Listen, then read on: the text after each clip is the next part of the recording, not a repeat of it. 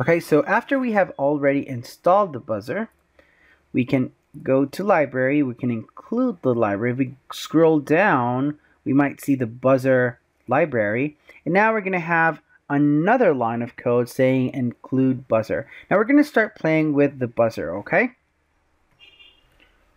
Okay, so after we have created, after we have our buzzer library, we are going to create our object. Just like we created the DHT sensor, underneath the DHT sensor, we're going to create the buzzer object. And after we have the buzzer object, we are we already uh, we're using it says what are the pins that we're using on the buzzer object okay so now that we have done this and you have already copied and pasted the second portion of the code and it's very important that the second portion of the code it's right after this uh, curly bracket okay because it's a new function now the new function is called jingle so you should have copied and pasted the jingle all the way with the curly bracket. And this is just a jingle that it's going to play when there is a condition, okay?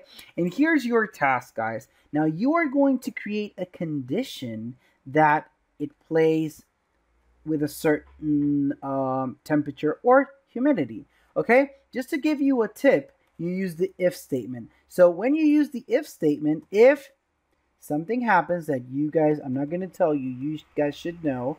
When something happens, when it's greater or less than, then it's going to call jingle, okay? It's going to call the jingle function. Now, on computer science and programming, we use functions in order to kind of like organize and simplify the code. So instead of me calling each tone of the jingle, of the buzzer, I am going to call jingle. Then the program is going to jump all the way to void jingle and it's going to start playing the the the notes, okay?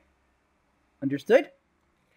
Now remember that you should figure out what are the parameters in order to play this. Now every time that it meets these parameters, it's going to uh, play the jingle sound, okay?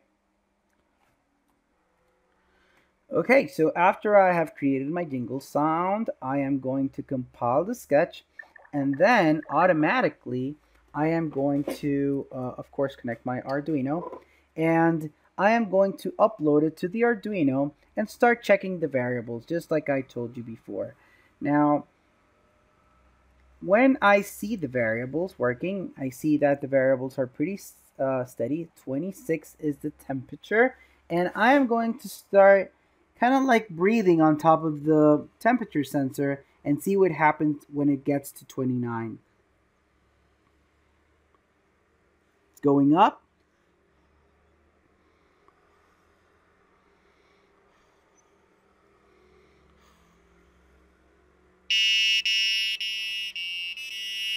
So as you can see, you hear the sound as soon as the temperature got to 29.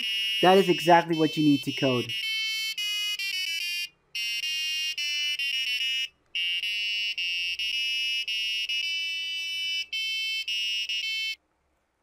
Okay, so that was really fun. So now it's your turn to finish this program.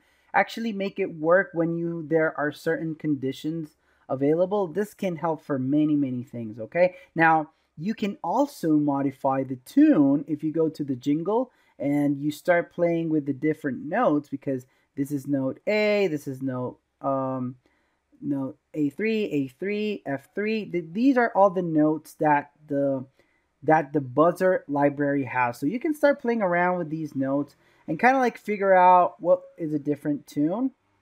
Okay. And it will allow you to play different uh, melodies. Okay. Good luck.